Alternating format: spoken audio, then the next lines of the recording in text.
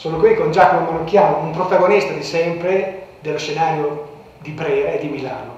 Lui presidente di Antiquari, una grande passione, una grande storia, ma eh, ha voluto essere uno dei primi, devo dire, dei primi eh, protagonisti di questa esperienza della settimana d'arte contemporanea.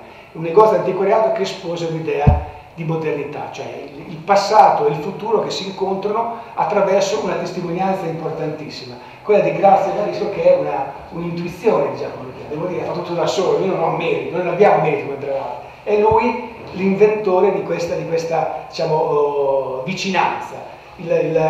L'arte antica, un, un testimone attraverso gli anni 60, uno dei periodi più eh, fruttuosi, più diciamo, creativi dello scenario di Brera nazionale e internazionale dell'arte italiana e, e, e, poi la proiezione verso il futuro. Eh, diciamo Manucchiani ieri, oggi e domani. Prego. Sì, ma è una passione, anzi io devo, dire, devo ringraziarti perché è stato tuo stimolo. Quindi io, nonostante fosse, sia un antiquario, ho detto voglio trovare il modo di partecipare a questa iniziativa che reputo importantissima perché una persona come lui è riuscito ad aggregare istituzioni, galleristi, eccetera.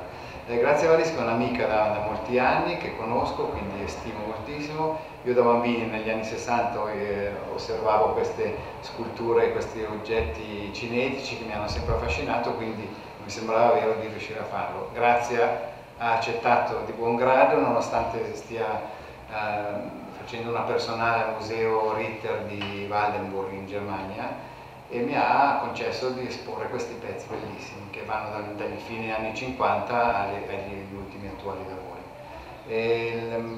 Un'occasione per dire che l'arte non ha soluzione di continuità, dall'archeologia o dalla preistoria ad oggi è sempre arte.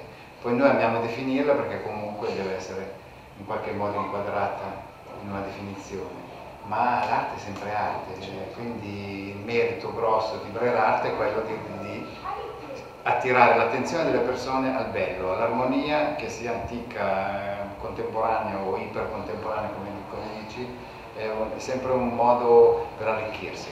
Grazie mille, quindi eh, speriamo che il buon lavoro sì, abbia successo. Grandissimo.